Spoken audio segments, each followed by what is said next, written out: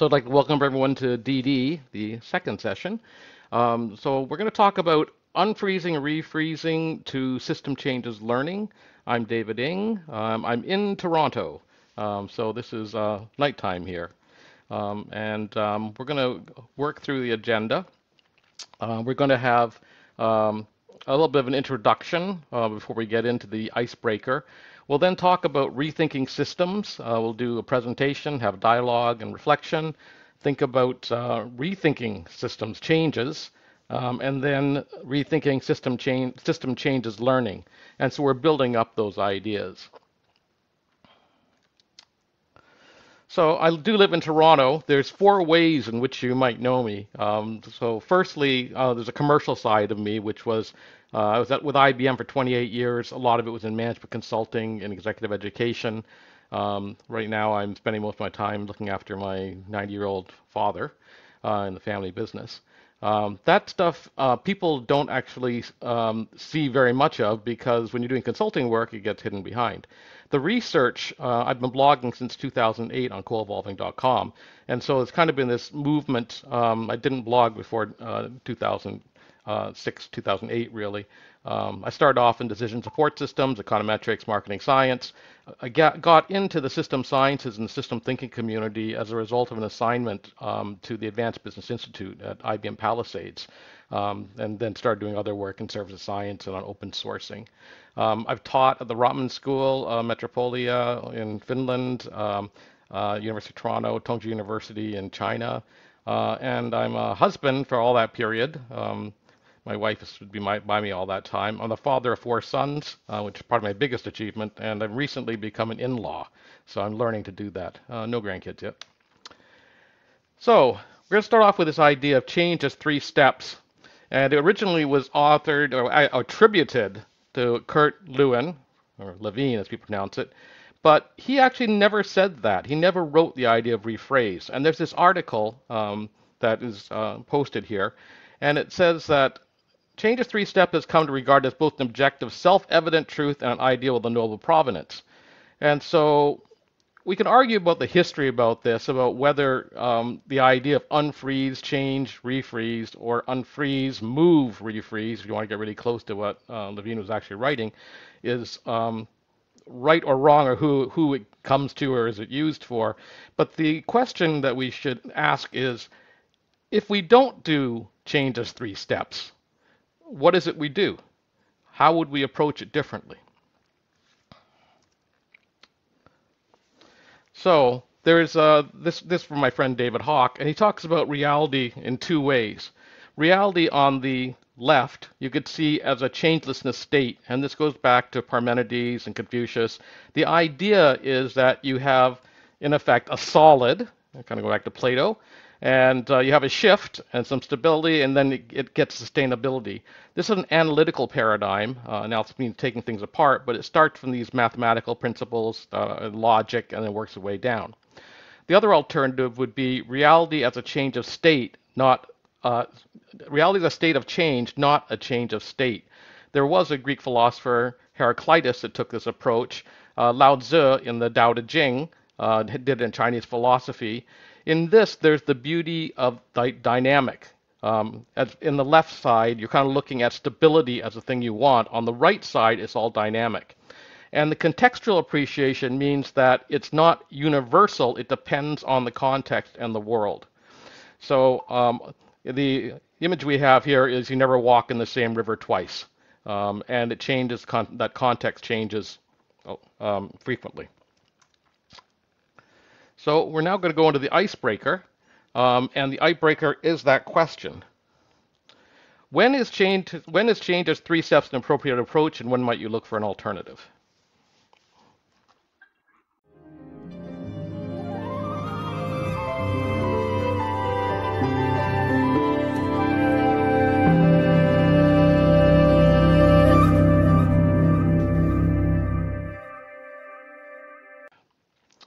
Okay, rethinking systems. And so I'm going to do a little um, uh, summary.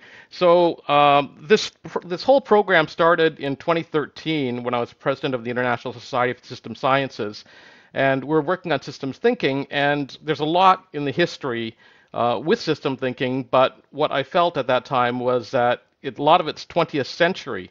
And um, the people that had, had done that work, if you to go back into like post World War II, um, never had to experience internet and globalization like we had. So uh, the, the ideas I brought up in 2013 were one, the Anthropocene, and two, the service economy and service science that was coming up at that time. And so um, that was the proposition. In 2019, we formed the System Changes Learning Circle in Toronto, and the idea behind that was um, the I knew there was going to be a hard problem to look at, and I said, I'm looking for a group of people who are willing to meet for 10 years, at least tri-weekly. And I had uh, three other people join me, and so we've been working on things. Uh, on the right side is a workshop we had we did for Code for Canada with the Canadian Digital Service on thinking system thinking through changes, and so we've been piloting some of these ideas uh, in practice. In 2022, this is the major article on uh, system changes learning on on um, recasting and reifying rhythmic shifts. So we're trying to orient people to stop thinking in terms of a straight line from A to B and moving towards rhythmic shifts.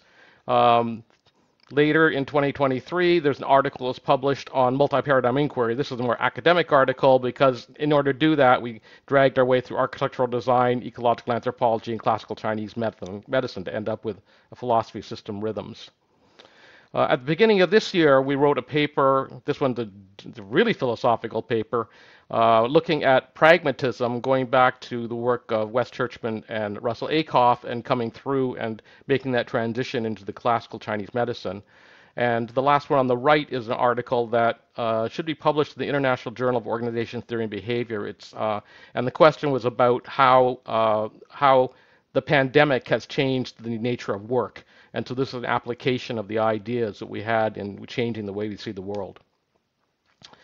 So if we go back to the history, the post-World War II social psychologists uh, followed Kurt Lewin, Kurt, Kurt Lewin, and led to three systems perspectives at the Tavistock Institute for Human Relations.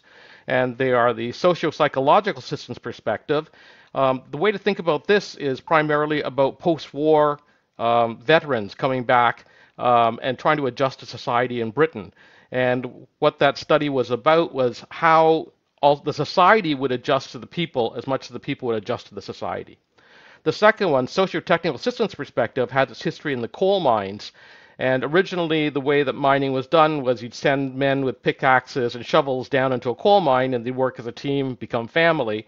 But the introduction of a machine meant that you had this long wall, and suddenly people were acting like pushing a crank and moving things along, and they weren't working as teams anymore. So they needed a new way of looking at, uh, at the work that was being done. The third one, the socio-ecological systems perspective, came about because there was so much change.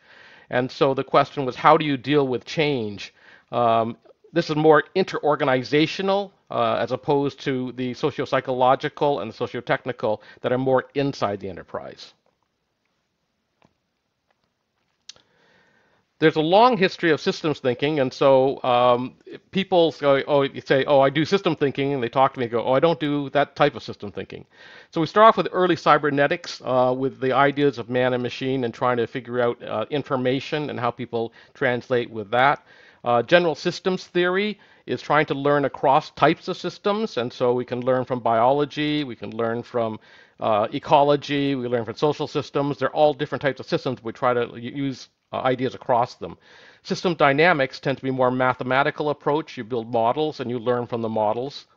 Uh, soft and critical systems approaches are probably the most popular at this point. This is actually social systems, um, focused on social systems. And so as compared to general systems theory that says there's something looking on all systems, um, soft and critical systems is basically social systems work.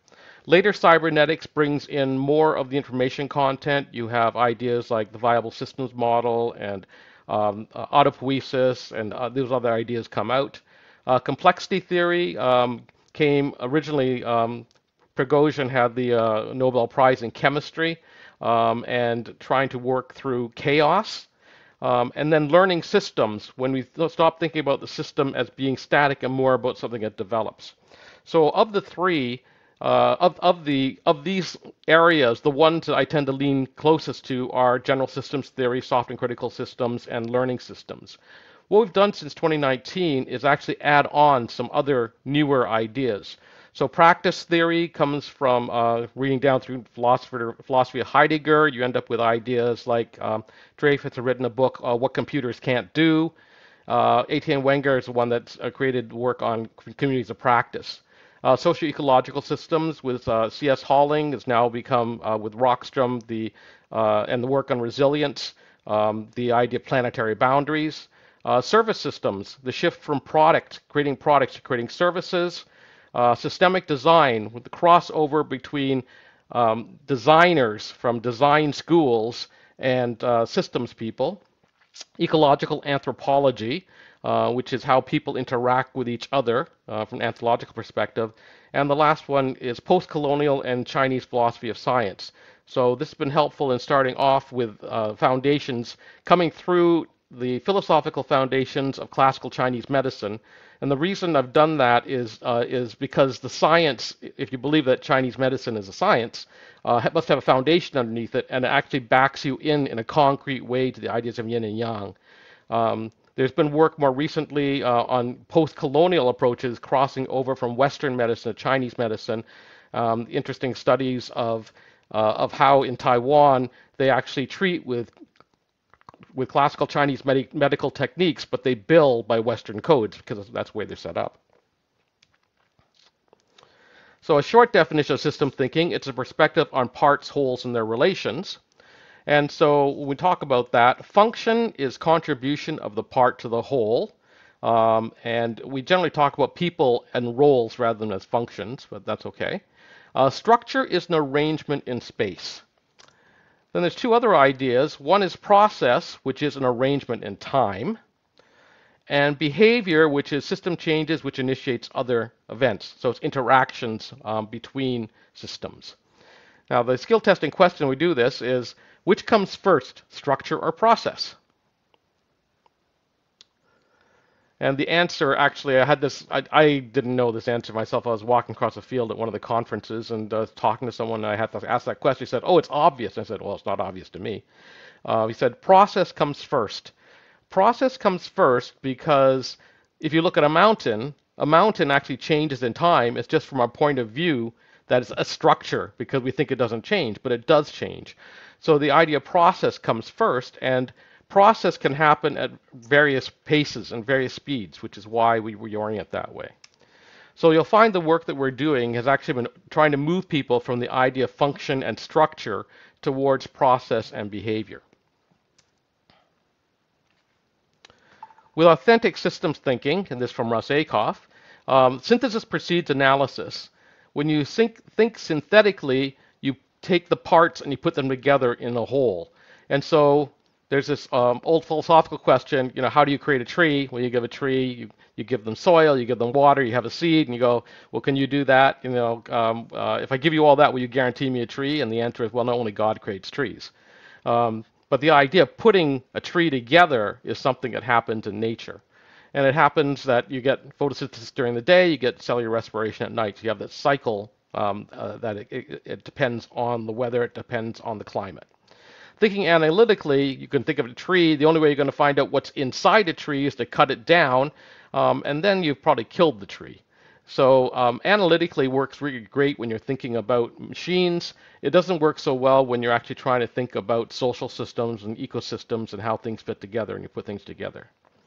At the bottom of the slide, I'd say that system changes learning, the, the way that we look at it, um, adds to the synthesis precedes analysis, the idea of thinking dyadically over time. And this is when we're talking about the processes as opposed to talking about the structures, because, um, and this is uh, the shortcut into yin yang, uh, is that you think about the changes, not the endpoints. And so the sun waxing, which is increasing in strength, and waning is decreasing in strength. You can think about that cycle when the sun rises and goes down. And dyadic is not dualistic, and this will be something we discuss in April when we have the next session.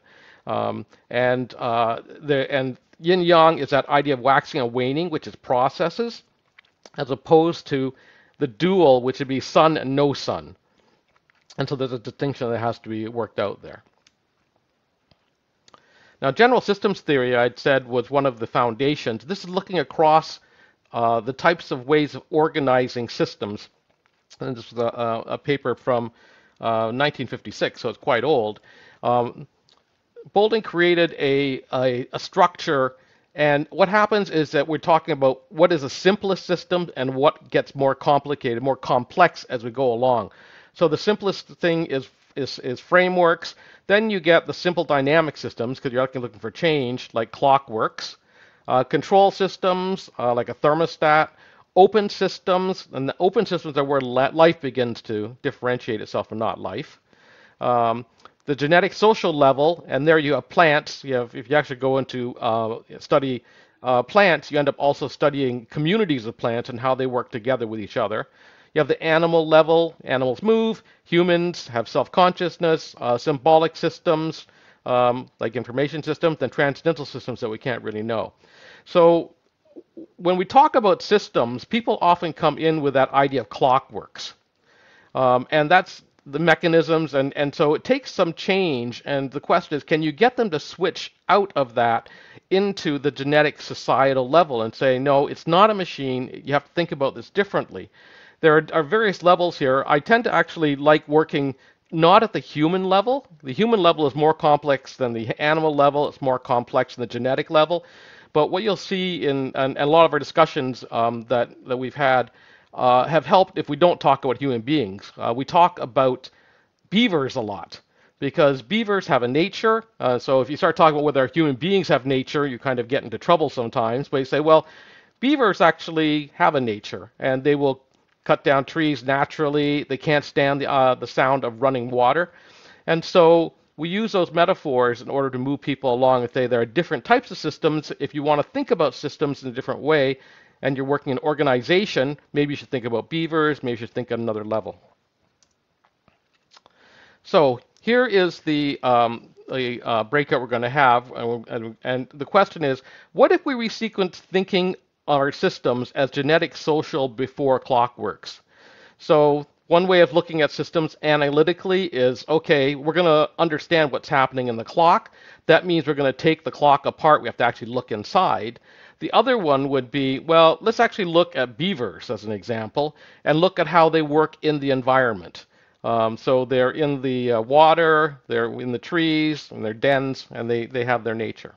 So let's go to another breakout.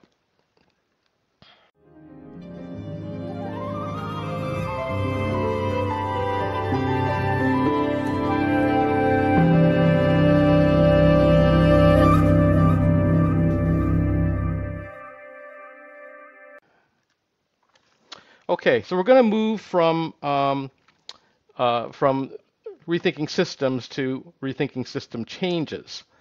Uh, now, there has been um, a lot of interest recently in systems change. Though 2017, the OECD has a, uh, a public server, public sector innovation observatory.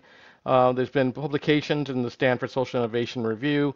UNDP uh, has stuff from 2022, and then the one that's really close to us is um, the uh, Forum for the Future and the McConnell Foundation had a meeting on Wasan Island, just a little bit north of us, where they brought together um, the Social Innovation Exchange members uh, and were talking about systems change. But when they were talking about systems change, they said, well, we're actually not going to define systems change, we're just not trying to build community around it. And so that left a gap of, well, what is a systems change and what is not a systems change? Uh, when we started this project, I, I was looking around because I have a lot of websites, and I thought, oh, we should actually create a new domain. And so it turns out that systemschanges.com is available because no one's ever thought that there's more than one system and more than one change. So there must be something going on there. So two approaches to this, if you look at psychology and the history of psychology, is in behavioral psychology, which is what's inside your head, as opposed to an ecological approach that asks what is your head inside of? And so this is fundamentally what was meant by ecological. Uh, it's not really about trees and uh, as people might think and plants and the nature around us. Uh, it is about the way you approach. And so behavioral psychology is going outside in. Ecological approach is going inside out. Um, the typical example of stimulus response that, with the foundation of behavioral psychology was like Pavlov's dog. You ring the bell and they salivate. Well, what's happening inside the dog's head? In the ecological approach to perception that J.J. Gibson has, what he was trying to understand was how pilots land on an aircraft carrier. And the uh, aircraft is moving, the carrier is moving, and looking inside the head of the pilot doesn't necessarily help.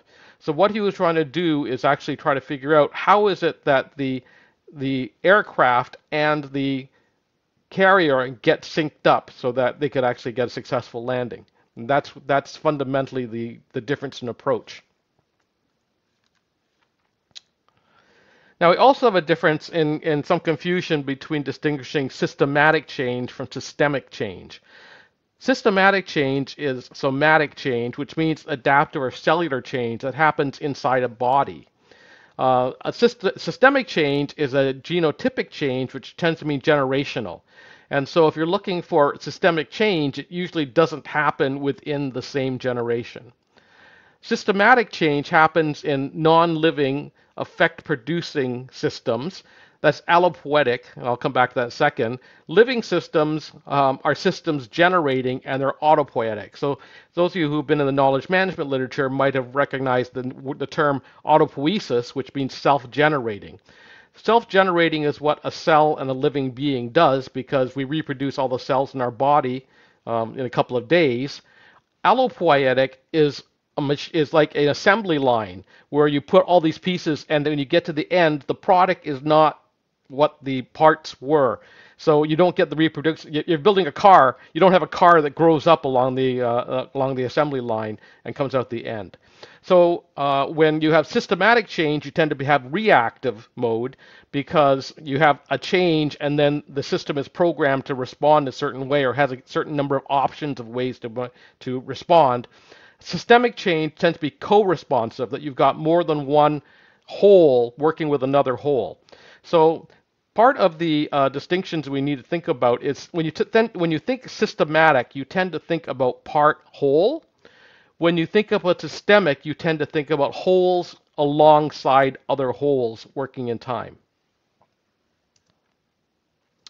Now we've been doing this with um, uh, facilitating to people, and they found this this helpful, which is a distinction between if if you're talking about wholes among other wholes, there's a lot going on. So we talk about the differentiation between urgent and important along the x-axis, and local and distant along the y-axis. And so ten, people tend to focus a lot on local and urgent. And this would be, as an example, um, if you're going to talk about medicine, if you're on a battlefield and it's local and it's urgent, you've got a soldier who's been injured, you have to treat them in the battlefield. If you don't, they'll die. If you go to the next one, local and important, well, that stuff can be done at a neighborhood clinic. And so, you know, just just do regular checkups. You know, if you have a little thing, just go to the family clinic and, and get it taken care of. You can do that locally. It doesn't require actually traveling very far. If you go up to the upper left, uh, you have the distant and urgent, and you have trauma centers. So um, people will get put into an ambulance and taken to not just any hospital, but taken to a trauma center because they have all the specialists there that deal with that. And the last category of, of uh, distant and important, you do an operating room. You schedule all the people, uh, cataract surgeries, knee surgeries, these are things which are not, they're important, but they're not urgent, and they can be done more effectively in distance. So what happens though is that all these shift, and so if something is done, uh, is not done that's important, it may turn out that it's going to shift into becoming urgent. And so and and if you want to make change in the world, a lot of the issues that we have is that we tend to work locally, and the question is how do you connect to a distant issue? It's like climate change is a distant issue, and it's important, but it's not urgent. But if we don't focus on climate change, then um, we're we're we're not we're not going to work on that problem. Okay, so as we go to breakout, here's the question: what if we resequence the thinking on system changes as ecological before behavioral? On the left side, we have the behavioral approach, which is okay, if we want to understand what's going on, what we should do is dig in and look inside the person's head. The ecological approach is much more like uh, couples dancing, social dancing.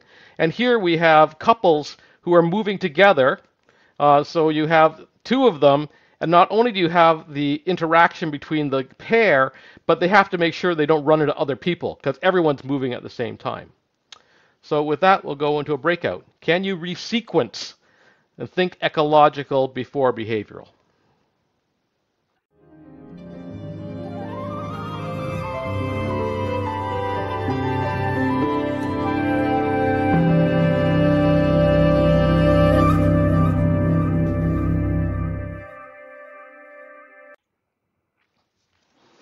Okay, so we covered rethinking systems and rethinking systems changes.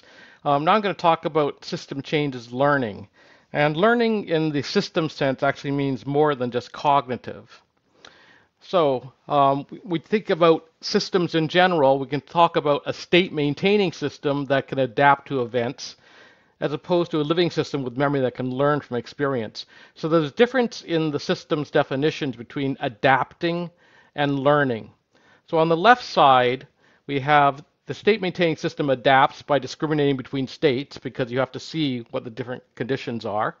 Um, and then reacting to the conditions with deterministic behaviors because again this is, the connection is like a machine so it's like this problem connects to this solution sort of thing a living system learns to produce an outcome by attaining a state in different ways and under different conditions and responding with events in the choice of behavior and so the question then comes about um, what what what can you learn? And this is where you get into learning systems um, and describing it. So the, the image we have of dolphins is actually chosen because of the work of Gregory Bateson had done this. Um, and the question is, can dolphins learn and to what extent can they learn? Here's three levels of learning that um, that came from uh, Bateson. Uh, the first one is proto-learning, um, changes in response, correcting errors within a set of alternatives. And so this would be like giving, uh, having the the dolphin do a trick, you give it a treat. It doesn't know the trick, you give a treat, and uh, you learn to do that one thing over and over again. Um, the metaphor that we could take on this, if we look at food service um, and cooking, is that training on food service and handling for consistency is what cafeteria kitchens want. You don't necessarily expect gourmet cooking out of a cafeteria. You want them not to kill people, uh, so or poison them or cause problems. So there is a place for proto learning, which is just these are the programs we run. This is the way we do things. We try to reduce the number of errors and we control for that. The second level, deutero learning, uh, relates somewhat to the double loop learning that Chris Argyris had created. Um, change in response correcting the set of alternatives. So if you're in the proto-learning state, what happens is you only have a certain number of responses. What happens if you want to add another response to it? If we take the cooking example and we go with food prep again, the Culinary Institute of America, you go there, you learn French cooking, then you learn Italian cooking, and you can learn Chinese cooking, and you learn different styles. And so when doing so, they're different, different alternatives and sets that you can choose from. The last one of trito learning is actually taking the change in response into contexts. And this one would be taking the dolphin out of the tank and putting it in the ocean. Uh, can, they, can they learn to do that? Um, the metaphor here would be Hell's Kitchen, where you're on TV cooking and the teams are, on, are constantly changing and um, you're getting challenges as individuals, and so you get that change we know that people can do proto learning. We know people can do deutero learning. The question is, can people actually do trito learning? Um, this is a personal family experiment. Uh, for I have four sons. Um, the first son, I was playing a badminton with him for a year, and I said, "Well, after you graduate grade 12, we're going to apply to a Canadian university, but would you like to go to China for two years? And the purpose of going there is to learn the language and learn the culture. I don't really don't care what the grade is going to be." And so he went, and then he, he went to China. Uh, all the four sons, actually, they're kind of two years apart, so they all went after him.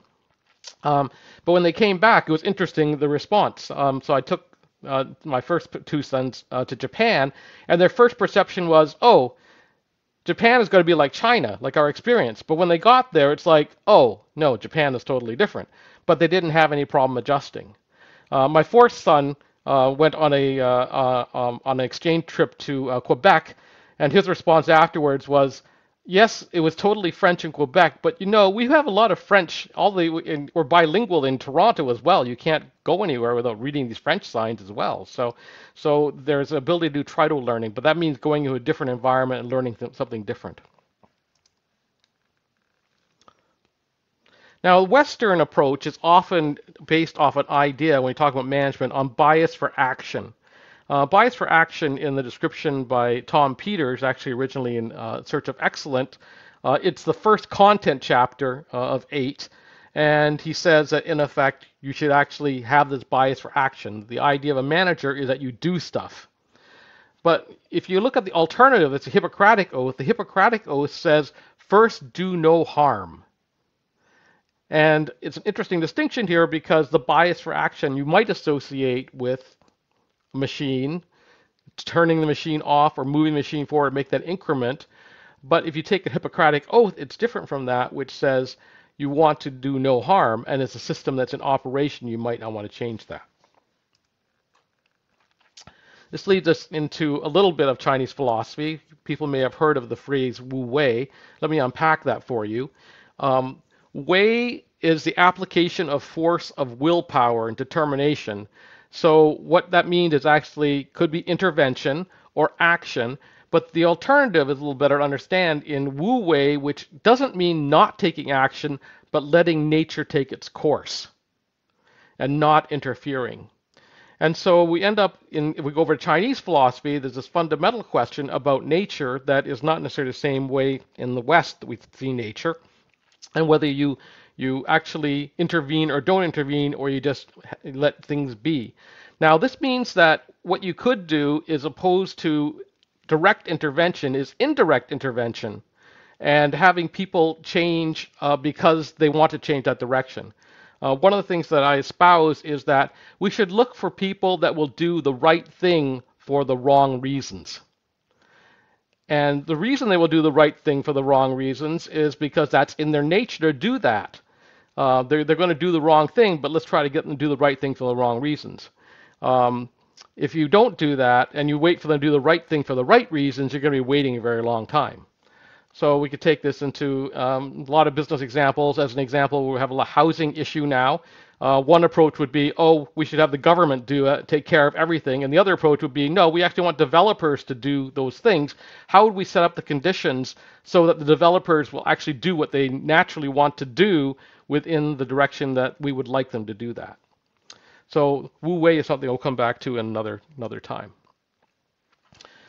The difference in philosophy between the Western approach on the left and the Chinese approach um, gets down to the, what we call the difference between a dualistic approach and a contextual dyadic approach. The first difference is in, in truth and falsity. So in the Western logic, you have abstract and permanent independent of context assertions, in effect, that this is true and it is true. If you take mathematics, 1 and 1 always equals 2. We can extrapolate from the propositions and we build upwards. In the Chinese logic, the application of meaning is relative to the particular context. And so the question is, well, what context do you, do you take that in?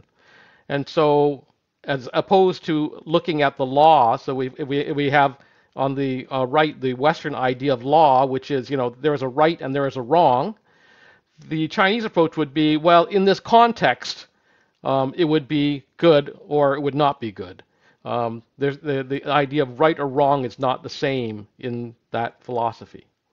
The pairings in uh, in the in the Western philosophy are, are in oppositions: superior, inferior, subordinate, subordinate, intrinsic value, non intrinsic value, human, non human. But in the Chinese philosophy, the context um, makes a difference and a term presupposes its opposite. So when you say cat, um, you uh, when you're comparing it, you, you're saying, well, it's, it, it's a cat or it's a not a cat. It's, and the not cat does not mean everything else in the universe. The, there's a context dependence because when you talk about opposition, so the idea of men and women, you could ask the question, well, there's no such thing as superior inferior. The question is when or where, and the when and where is a context. The frames in Western logic, hierarchical, reductionist, and thing ontology. Uh, the frames in Chinese philosophy, yin yang, which is processes. uh, harmonious whole, which is the ecological approach, and a mutually engendering or constraining uh, uh, context around that. So more resequencing.